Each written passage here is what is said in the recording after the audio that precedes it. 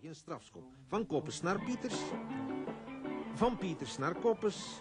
De combinatie strafschop was geboren en doelman Geerson vroeg zich af waar de Rode Duivels die duivelse ingeving vandaan hadden.